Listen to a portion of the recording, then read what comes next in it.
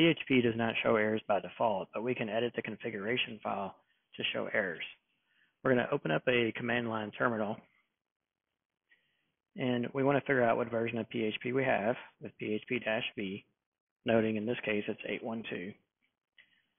And then we want to edit the php.ini file under that version path. First thing, notice that you're going to need to use sudo unless you have elevated privileges. And then we're going to edit etc php.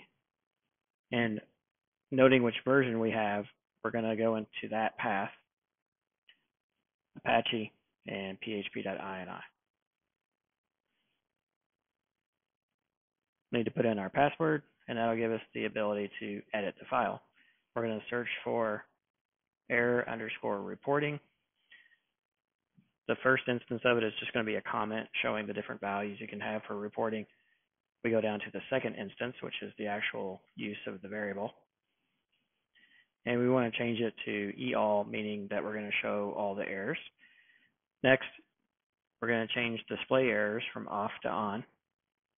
We're going to save this file, and then we need to restart the Apache instance. So we're going to do service Apache 2 restart. And again, unless you have elevated privileges, proceed this command with sudo. Now, PHP will show errors when you have an issue in one of your files.